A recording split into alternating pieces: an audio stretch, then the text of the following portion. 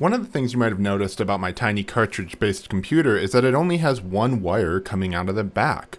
This is possible because that one cable is a USB-C cable which handles audio, video, and power all in one. And you might wonder how this is possible with a Raspberry Pi powered device. Well, if we open it up and take a look, we'll find out that it's not a Raspberry Pi at all. It's a board that's better, in my opinion, than the Raspberry Pi. It's a Latte Panda Delta.